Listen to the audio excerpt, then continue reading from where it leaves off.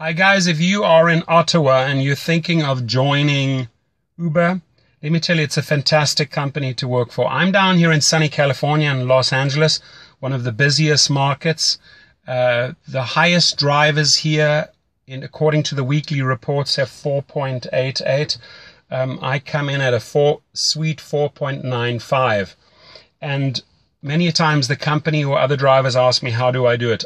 I'm always willing to share all my little secrets, all my tricks, because I think it overall it improves uh, the company if they have better drivers and better quality, higher professionalism, etc., etc. So uh, when you are joining in Ottawa, um, again, you know, after 2,000 trips, I'm just sharing this information with you. The, the beginning is difficult, but why not speak to the best of the best? And I do regard myself uh, as the best of the best and learn from the best of the best so that your first trip is filled with fun and not with fear.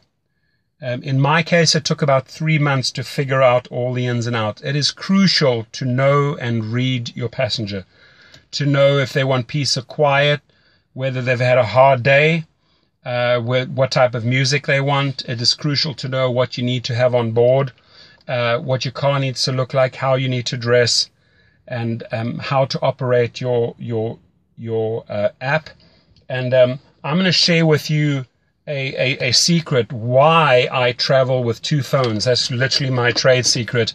With these two phones, I will guarantee you, you will be earning more money than the average driver, higher tips, and you will be getting better ratings. That is a fact if you just follow that simple protocol. So um, reach out to me.